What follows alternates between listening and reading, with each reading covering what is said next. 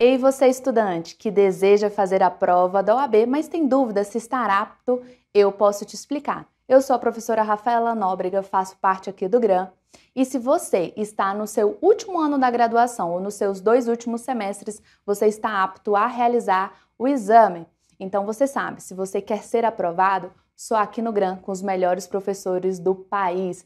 Vem ser GRAM. Se você gostou dessa informação, curta, clique e compartilhe. Bye.